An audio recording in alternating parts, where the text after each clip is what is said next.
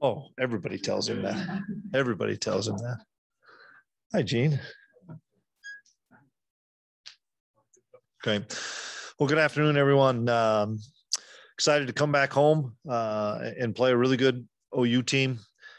Uh, we just started our prep yesterday. Um, uh, looking back at, at our game on Saturday, um, kind of tale of, of two different halves for us on defense. We really struggled in the first half on defense. We just couldn't settle down, couldn't get into any kind of rhythm, had couldn't get aligned right. Uh, things that you look at their first five or six plays, and we had some uh, missed assignments.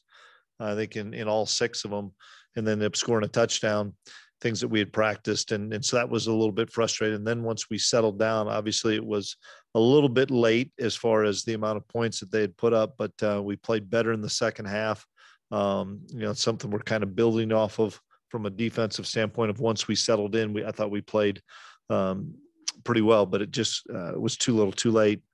Offensively, uh, really good defense we played. Uh, they said we're going to stop uh, Deuce Vaughn and um, rush the passer and and make you beat us throwing the football. And when we were down, as much as we were down, that's not a good position for us to be in, uh, where we're having to throw and we can't really um, set up our our throw with our play with with the run and trying to get some play action. So then it uh, uh, became the fact they just laid their ears back and, and rushed the passer and did some really good things. I we still had an opportunity. It was thirty one to 13 and then we get the the big play with deuce and end of the third quarter it's 31 20 and we had a couple opportunities um, with some guys open and we just either couldn't get the ball to them um, or we didn't see him because of the pressure or we had a chance to maybe make it a one score game. But as we talked on saturday we kept chasing that one touchdown that we kind of gave up and gave them at the uh, in the second or excuse me in the first quarter on the on the fumbled snap. And so uh, we were chasing that one all night long. But uh, came back on, on Sunday, went through the film, visited with the guys yesterday. We got to learn from it. Um, going to have adversities, first adversity we've had this year. Now it's how we respond. Uh, good opponent coming in here, great opponent coming in here. So uh, we can't, uh, uh we got to flush that one and, and get ready to play a great OU team. Do you know how likely it is that you'll have Skylar? I, I would say not likely this week. Um, he's doing more things but I, I, just think it'd be, you know, maybe late in the week we'll have a better understanding. But right now, I would say no. It's going to be Will and Jaren. Our hope all along was the open week, um, getting him a chance to be back for Iowa State. That's kind of the timetable it was. Um, uh, I, I, don't think that'll change. Um, he's doing more things. Don't get me wrong; he's doing more things, but to play a game, I don't. I don't think so right now. Will, I mean, I, I, know you mentioned him being available. Is it going to be him able to run the ball?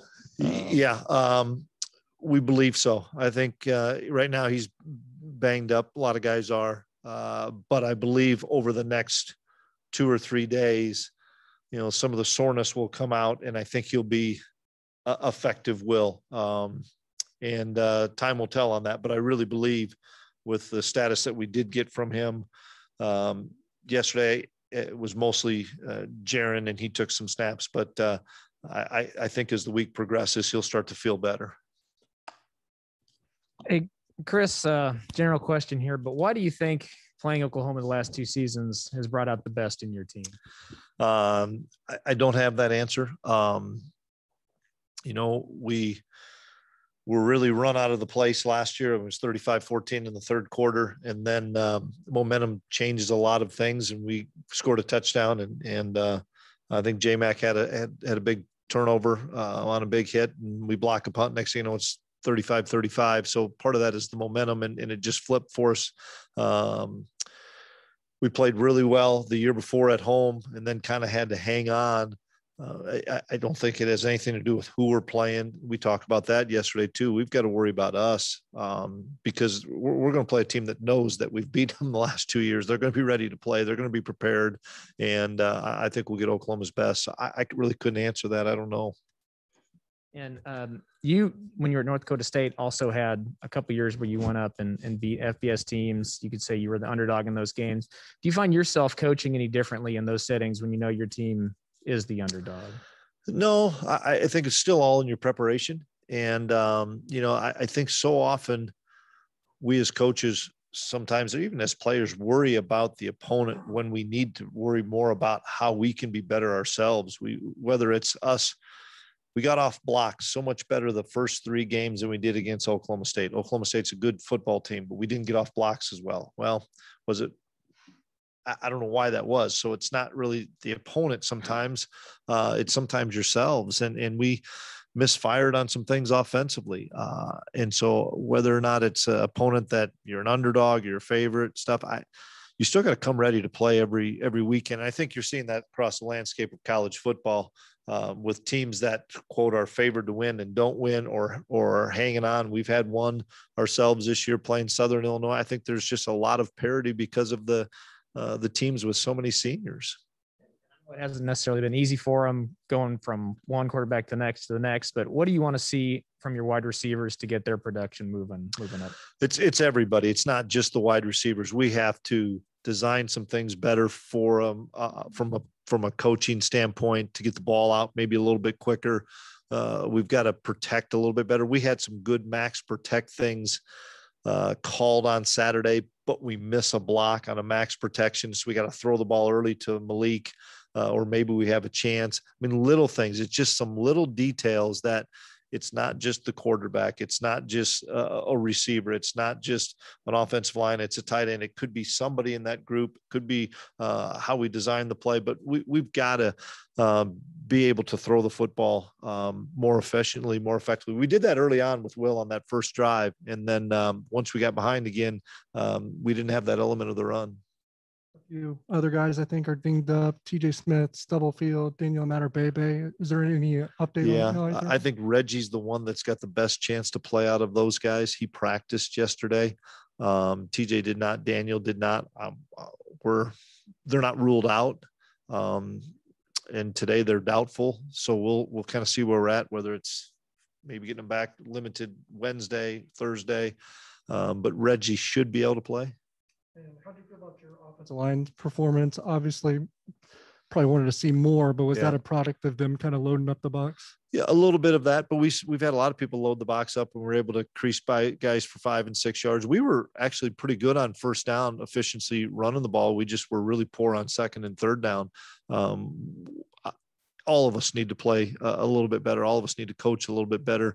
Um, but give Oklahoma State credit. I think they really did some good things schematically against us and, and they got off blocks and we sustained blocks a lot better the first three weeks than we did uh, this last week. So we've got to be better at sustaining blocks and, and, um, but also give Okie State some credit.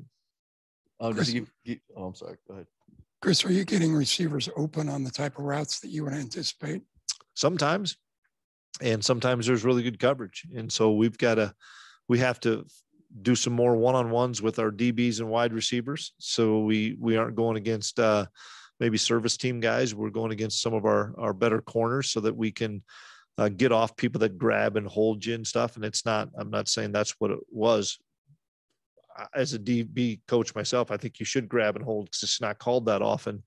You have to be able to get off of that. It's no different on punt or on kickoff. People are going to grab and hold you until you force them to get off you and you rip hands away and and and uh, uh, get off of press coverage or get off of bounce man coverage and and so it's effective tool that we have to be better at getting off of but there were some times we had some guys open that either uh, we didn't see them or uh, the protection broke down we couldn't get the ball out injury situation with Nate, Nate Matlack that prevented him from playing Saturday?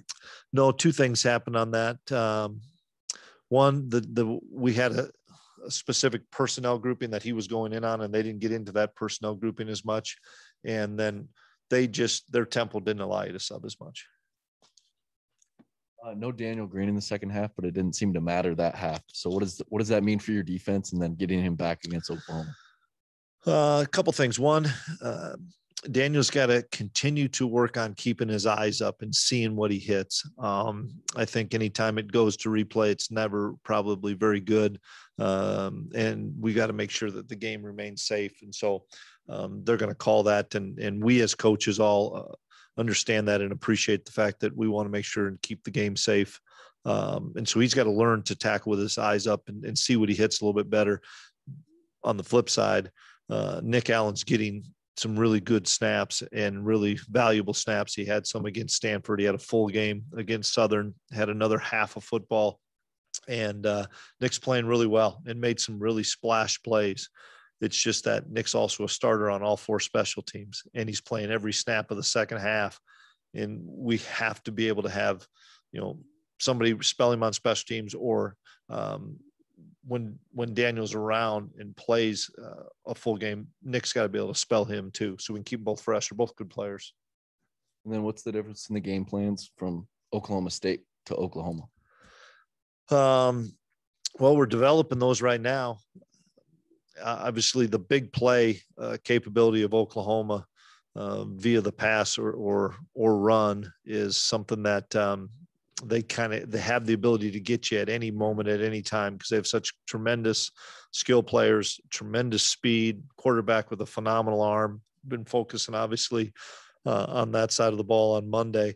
Um, and then uh, for us on offense we have to be able to uh, find ways to to crack the run whether it's quarterback run whether it's perimeter run um, whether it's some inside run, probably a combination of all things, so that we don't have people playing nine guys in the box against us, and and bringing everybody. We we have to be able to hit the explosive play, similar to what we did against Nevada early in that game. It kind of softened them up a little bit.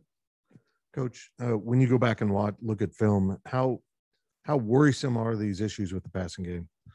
Um, they're worrisome without question, and it's a combination of a lot of things. It's it's us designing some things to get guys open against specific coverages. It's us getting open. I don't care if it's me against you. It's just me getting open and and not allowing you to be grabby and hold with me, and us making sure that we protect long enough so that we can get the ball out. We we had some really good uh, throws in the first drive with Will, and some of those were bang bang throws where people were in his face, but we were able. Tyrone Tyrone Howell got off coverage one time and made a big play. Um, Philip got off coverage and made a big play. Landry got off coverage and made a big play. So I know we're seeing it. It's, we're capable of doing it. It's just got to be more consistent. And um, when they take away Deuce like that, is it how much does that affect your playbook? When affects it quite a bit. Uh, I mean, he's uh, one of the best running backs in the country. Uh, so other people have to step up, but whether that's other people in the run game or us doing some things to throw the football so that they have to say, okay, we can't put all these guys up here. Their free safety stood at 10 yards and never backpedaled. Had we hit one of those home run balls over over their head when we had a couple opportunities, their DB made a couple good plays. But if we hit one of those, it's another touchdown. If we hit both of those, it's maybe a different type of ball game because then we're not chasing those points. And that's something that we talk about as as staff when I meet with the offense is we have to be able to hit those home run plays. And to the extent of one, I thought a kid made a really good play. The other one, we have it max protected, but we don't block the right guy. So we have somebody come clean right at will and he hits him right before he wants to throw it. And we should have it picked up. And finally, uh, do you expect to see similar defensive schemes until you prove you can defeat it? Um, yeah, I would. I would think we we've seen kind of the same schemes. To be honest with you, um, whether it was Stanford to Southern to Nevada to Oklahoma State, Oklahoma State probably had better players than the other three teams did. But we've seen nine guys in the box, ten guys in the box, and we were able to um, rush the football uh, for sure against Nevada against that look we were able to throw the ball effectively against Stanford in that look.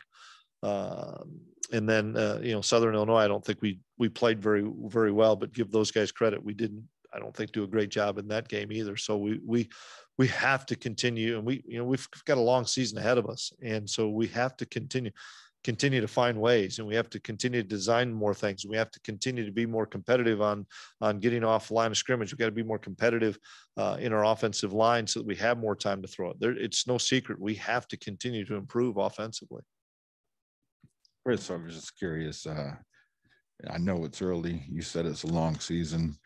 Sometimes looking at a top five or top 10 opponent to be able to defeat them really is a nice feather in the cap elephant in the room? I mean, do you do you talk to your team about the ranking, or is that something no one talks about? Yeah, we uh, no. I, I would say the kids probably know that where where somebody's ranked um, when we play them, but it's nothing that we would emphasize of this would be a great win because it's over a third ranked, fourth ranked team. I, will be honest with you, every win's a great win.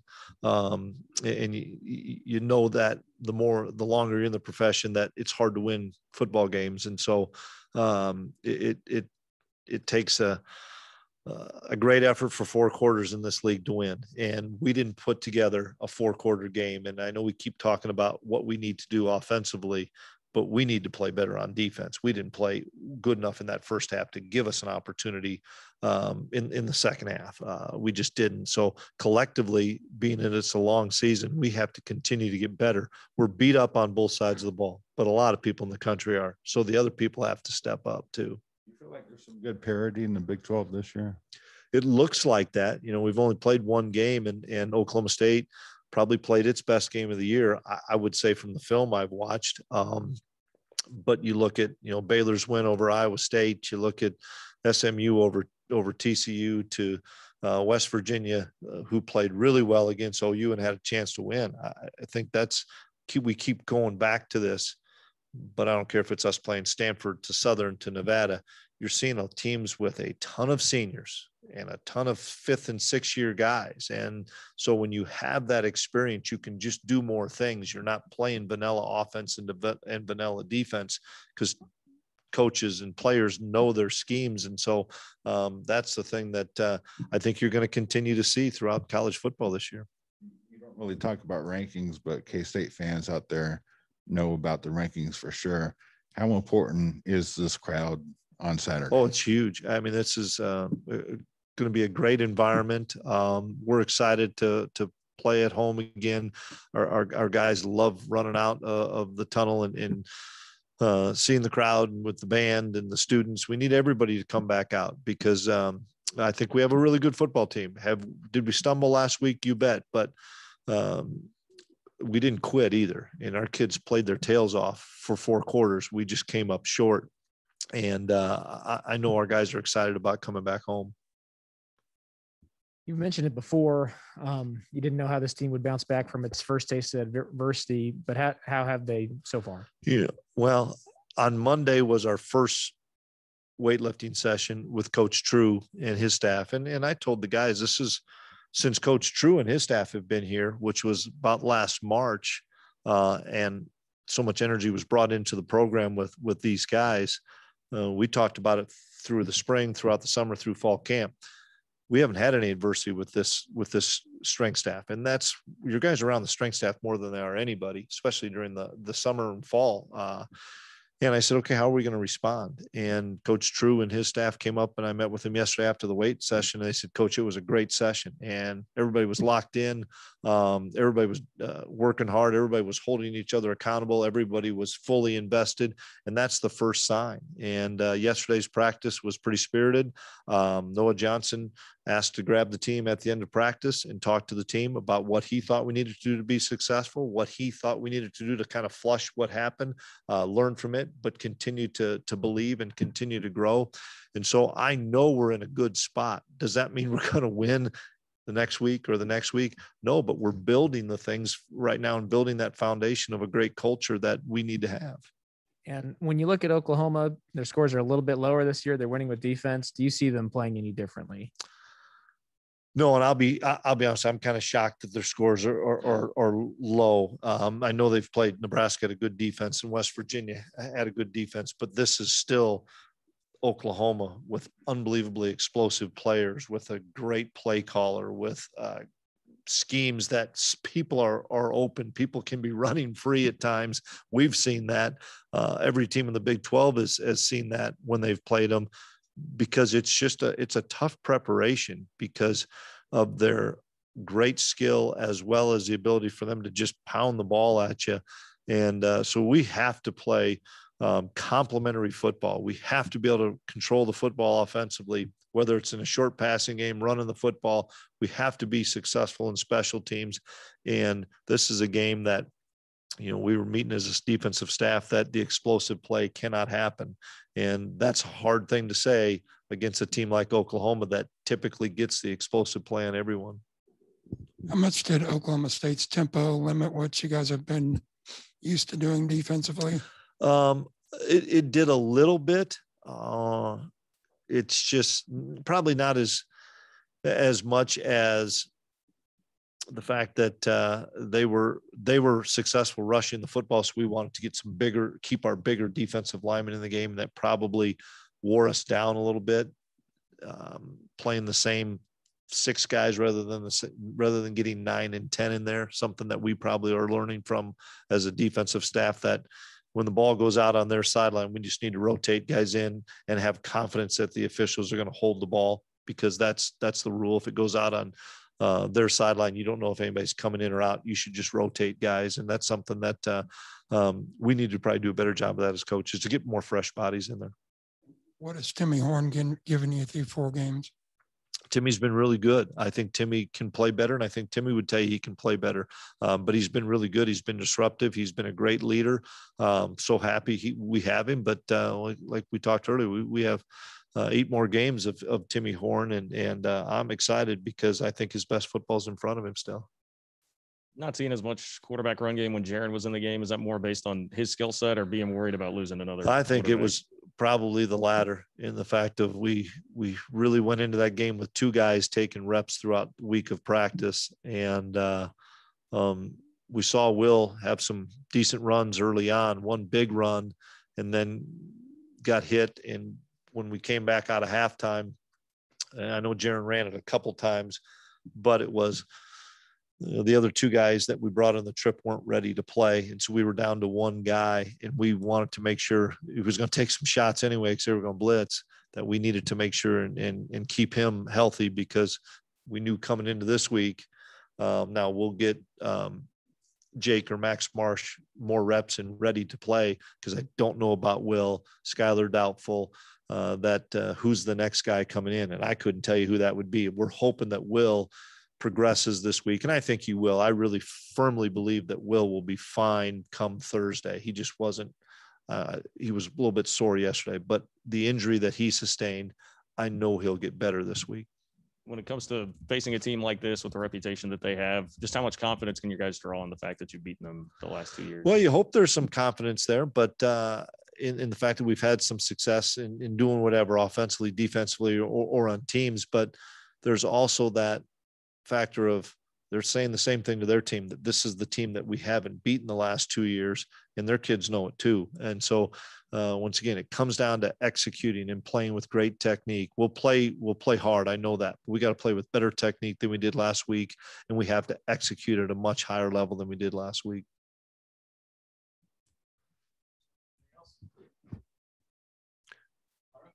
Okay, have a good week, guys.